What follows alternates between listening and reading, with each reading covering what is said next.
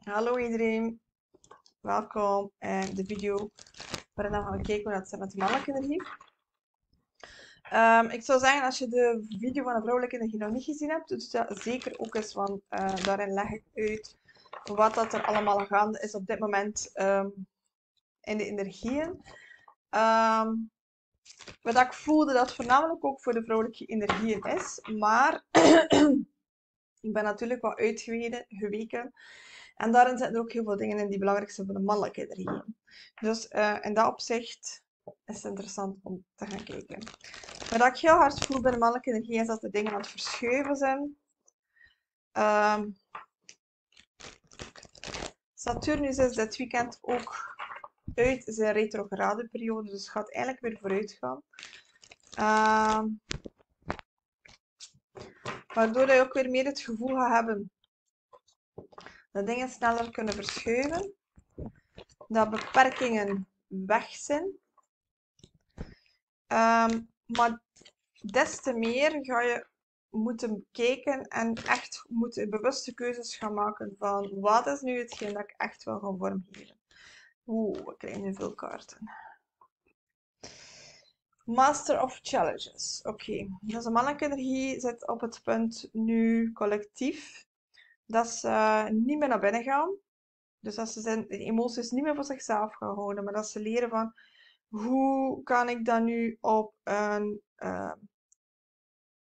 volwassen, mature manier delen, zonder overweldigd te worden en zonder uh, al die dingen waar we doorheen gaan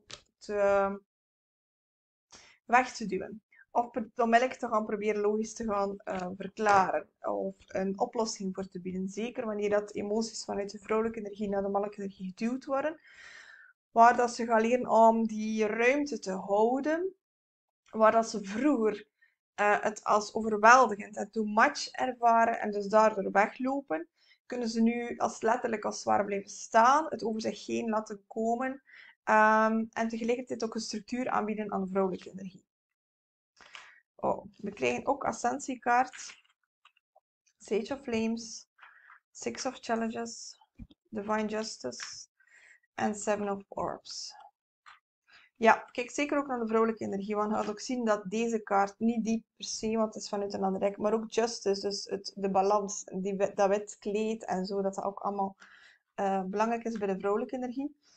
Um, dus we krijgen ook eerst de ascensie. We zitten aan de volgende fase in het ascensieproces. En het proces als tweelingvlammen. Want het, wanneer je op het pad van een tweelingvlam loopt, dan is dat omdat eigenlijk jij als ziel en je tweelingvlam of je diepe zielsconnectie ook dat pad gekozen heeft om um, wakker te worden, om je ziel verder te gaan ontwikkelen. En dus het volgende pad daarin is, is dat inderdaad, want kijk, je ziet ook weer dat blauwe, zie dat blauwe die uh, belangrijk is. Dus het spreken van een waarheid, het spreken, um, delen, communicatie, dat is uh, belangrijk. Maar wat is nog het meest belangrijkste? Dat eigenlijk, wat gaat er gecommuniceerd worden, wat hun passie is.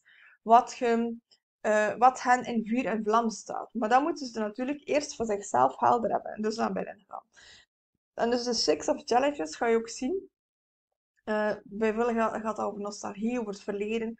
Dus je kan zeggen, ja, inderdaad, het is hier jouw tweeling, bla bla bla, maar dat voel ik je nu zeker niet. Maar wel eerder die um, eenheid tussen mannelijke en vrouwelijke energie in zichzelf. En dus daardoor, doordat die eenheid in zichzelf er komt, of veel meer stabieler aanwezig gaat zijn, had hij in staat zijn om in de connectie ook veel meer de geven en nemen en balans te gaan doen waar dat in het begin vaak voornamelijk de vrouwelijke energie heel veel geeft, heel veel geeft, terwijl dat zij eigenlijk moet gaan ontvangen. Maar dus um, de mannelijke energie heeft dat stukje van onvoorwaardelijke liefde ontvangen nodig om in harmonie en eigenlijk in uh, eenheid te kunnen komen met zijn eigen vrouwelijke energie. En wanneer dat hij pas in uh, die harmonie en in evenwicht en eigenlijk een geheelde relatie heeft met zijn eigen vrouwelijke energie, zal hij in staat kunnen zijn om dat ook naar de vrouwelijke energie in een connectie um, te geven en te tonen. En dus daar zit soms nog het stukje um, gedachten um, die af en toe er wat tussen komt. Dus die af en toe wat de spelbreker nog is. Maar meer en meer probeert hij dat los te laten, probeert hij daar eigenlijk bewuster over te worden. En dat is eigenlijk wat deze kaart over gaat. Zodanig dat hij eigenlijk ook net zoals de vrouwelijke energie, maar op een andere manier, om dat huwelijk tussen de gedachten en de emoties, om eigenlijk veel meer harmonieuzer te laten verlopen. En niet meer het gevoel te moeten hebben van, uh, ik moet kiezen voor het logische, of ik moet kiezen voor die emoties, of ik... Uh, je vindt daar veel meer een balans in. Um, en hoe doet hij dat? Door net niet, zoals je ziet, die is hier geblinddoekt, maar net door het geblinddoekt te zijn, zal het voor de mannelijke energie ook gemakkelijker zijn om gewoon te verbinden met zijn diepste ziel, met zijn diepste kern. En om van daaruit dan, vanuit die zuiverheid, uh, te kunnen delen wat dat hij voelt en ervaart. Is dat hetzelfde? Ja.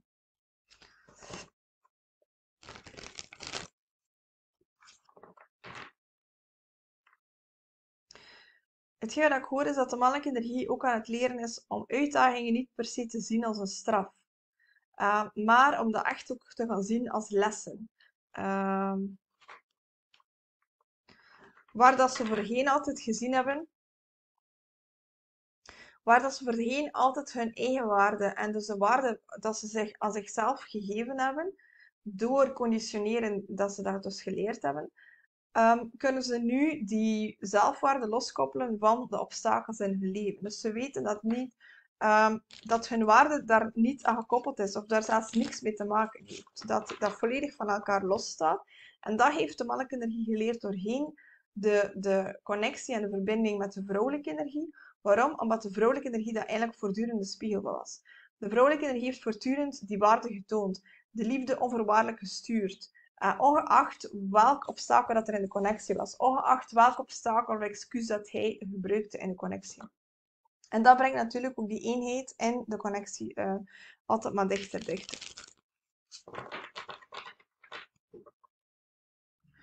En zo zijn we in de volgende fase van het collectief gekomen.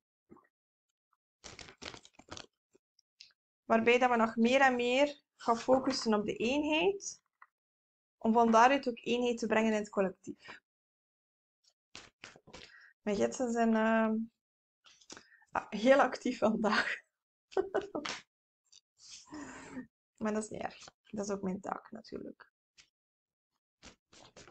Oeps.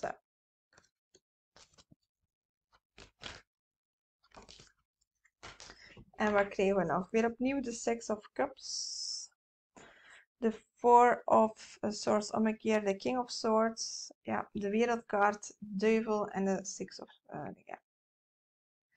ja, hetgeen dat ik hier voel en hoor voornamelijk, is dat uh, de mannelijke energie geleerd hebben om niet meer te gaan piekeren. Dus um, om eigenlijk geen dingen te gaan overdenken en veel meer te gaan vertrouwen op hun intuïtie. Daardoor maakt dat ze eigenlijk een meester geworden zijn van hun gedachten. Nog veel sneller dan eigenlijk de vrouwelijke energie. Waarom? Omdat dat hun ja, natuurlijke habitat is. Dat logische, dat is, dat is hun ding. En dat heeft ervoor gezorgd dat ze het gevoel hebben dat er heel veel dingen in de fysieke wereld veranderd zijn. Dat ze veel meer controle hebben, maar vanuit de geheeldheid. Vanuit een balans, vanuit, um, vanuit die onvoorwaardelijke liefde hebben ze eigenlijk de, de brandstof en de fuel gekregen Ehm, en de kracht ook om te blijven voorgaan en te blijven proberen en te blijven dingen te gaan veranderen op een positieve manier. Maar natuurlijk is de duivel er. Waarom? Omdat de duivel soms nog hem, de mannelijke energie, terugtrekt in het oude. Um, en daarom is het belangrijk dat de, in de connectie zelf, dat de vrouwelijke energie en de mannelijke energie allebei blijven focussen op de liefde. En dus niet op um, de, die trial and errors, en voornamelijk de, errors, maar dus echt ook heel bewust zijn dat het een proces is. Dat die eenheid en die, het samenkomen, dat dat, dat, dat een natuurlijk proces is. En als je ziet, mij dat ziet doen, dan denk je niet alleen aan de kundalini-energie, maar ook aan die DNA-strijd. Dus want daar ook uh, transformatie, ascensie, bewustwording gaat tot het diepste van ons DNA.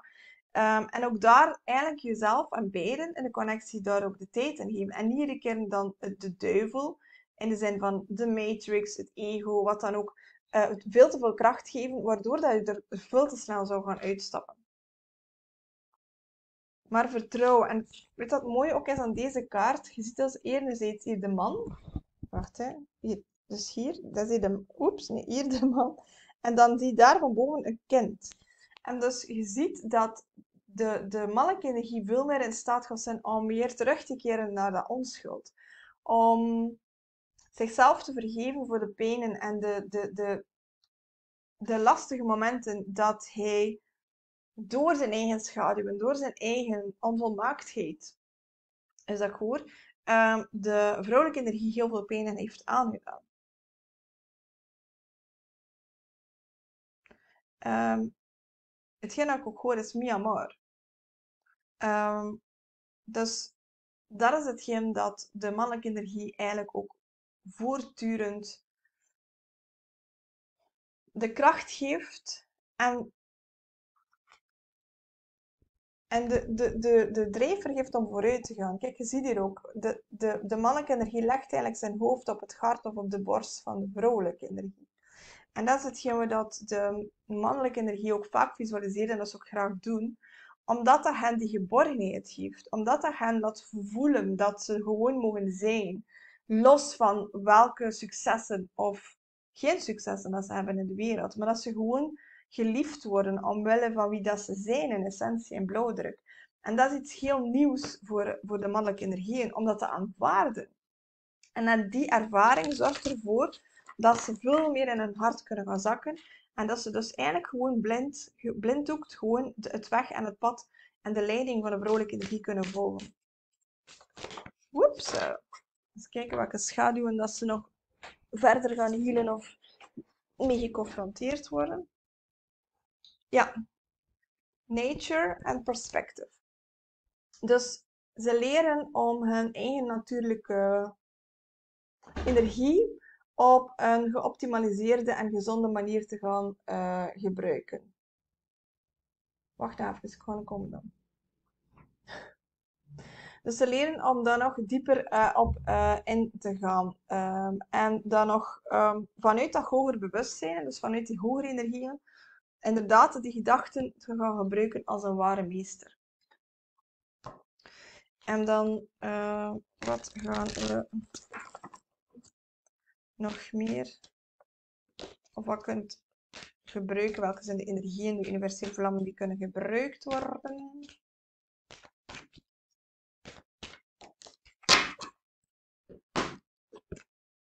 We hebben aardsengel Uriel en Abundance, die verbonden is met de aarde, energie, het fysieke, het materiële. En ziet ook hier die bomen. Die bomen heeft ook te maken met uh, de kracht waarin dat de mannelijke energie kan staan.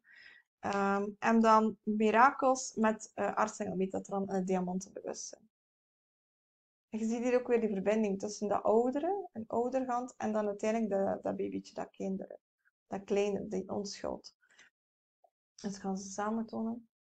Dus je kunt samenwerken met gewoon Artsengel Uriel, Artsengel Metatron.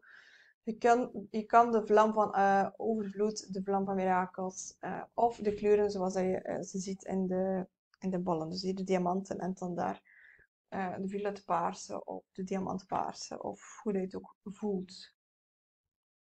Hebben we dan nog extra van boodschappen voor de mannelijke energie in deze week of voor de vrouwelijke energie die kijken, om te weten.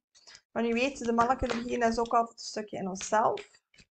De ene keer gaat het wat meer van toepassing zijn op de connectie en de andere keer meer op uh, jezelf. Maar ook daar is het belangrijk om dat op die manier te gaan bekijken. Wat is er nog meer?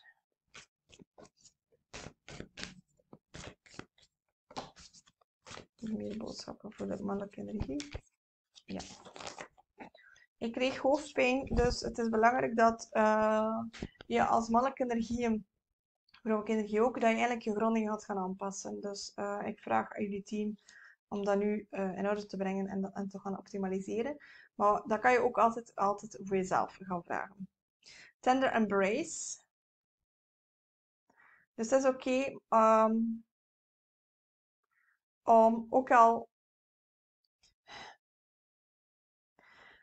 Ook al heeft iemand anders je heel veel pijn gedaan. Weet en begrijp dat dit ook een onderdeel is van de lessen dat jij te leren hebt. Zie jouw aandeel in het grotere geheel. Zie waar dat jouw verantwoordelijkheid is. En dan is het ook oké om gewoon verder te gaan. Om jezelf te vergeven, de les te leren, het inzicht te krijgen, te transformeren en weer verder te gaan. En te focussen op de verbinding en op de liefde uh, die er is. En vanuit zorgzaamheid en vanuit uh, die eenheid naar de anderen uh, te komen. Want dat gaat ervoor zorgen, ligt ondersteboven, dat gaat ervoor zorgen dat je eigenlijk jouw hart beetje bij beetje nog veel meer gaat gaan openen. Nog veel meer gaat gaan blootstellen aan die onvoorwaardelijke liefde. Uh, maar ik ben er zeker van dat er nog heel veel mensen denken dat ze open, een open hart hebben. En geloof mij, als ik kijk van waar dat kom drie jaar geleden, dacht ik dat ik een open hart heb. Maar als ik kijk waar ik nu ben, dan zijn dat twee totaal verschillende levels. Dus ook daar, um, één, wees, um, wees niet te streng voor jezelf en geef jezelf ook de tijd en de ruimte om het op jouw tempo te doen, om het in jouw proces en jouw ritme te gaan doen. Um, en er zijn uh, mensen die iets trager gaan, dat is oké. Vaak is dat ook zo omdat je mentaal het veel te veel nog vasthoudt en dus dat ego nog veel te veel controle houdt. En daarom dat ik ook altijd zeg, werk met die vlammen. Um, omdat je dan eigenlijk een shortcut neemt, een shortcut die wel toegestaan is, om eigenlijk onmiddellijk op je onderbewuste te gaan inwerken. En dan uh, body and soul. Hoe meer dat je dus ook leert samen te werken, en er staat hier ook een dragonfly, of een libel, of hoe je dit ook kan noemen. Uh, hoe meer dat je leert samenwerken en die eenheid brengt in jezelf, breng je ook eenheid tussen je ziel en je lichaam. Waardoor dat je uiteindelijk niet meer zegt van ik voel mijn ziel, of mijn ziel zegt dat, want jij bent jouw ziel. Jouw lichaam is het vervoermiddel. Dus waar dat we vaak veel te, veel te veel ons geïdentificeerd hebben met ons lichaam, het is veel belangrijker om je te identificeren met je ziel. En dat is hetgeen dat de mannelijke energie ook meer en meer uh, ontdekt. Dat ze niet zomaar het fysieke lichaam zijn. Dat het niet uitmaakt hoe dat ze eruit zien. Maar dat de vrouwelijke energie houdt van hun, van hun ziel, van hun energie. En dus eigenlijk voorbij die façade van macho of, of ego of wat dan ook kijkt en voelt. En dat is ook net de kracht van diepe zielsconnecties. Dat we verder kijken dan wat we eigenlijk ook maar uh, durven tonen uh, of uh, ons zelfzeker overvoelen. En als laatste boodschap hoor ik: laat los en laat spirit je leiden. En dan gaan uh, heel veel zegeningen en heel veel mooie dingen op je pad binnenkomen. Zo, als je wel met mij samenwerken, uh, zoals ik ook gezegd heb in de andere video, dan zijn er binnenkort een aantal plaatjes uh, die vrijkomen. Mensen die de trajecten uh, binnenkort beëindigen. Um, dus als je daar interesse in hebt, zou ik zeggen, wacht niet te lang om contact met mij op te nemen, want die plaatjes waarin dat mensen mij 7 op 7 kunnen en mogen bereiken, zijn natuurlijk beperkt beschikbaar. Uh, dus als je daar wil van gebruik maken, dan hoor ik het graag. En uh, dan spreken wij en werken wij misschien binnenkort samen. Dat zou ik super fantastisch vinden.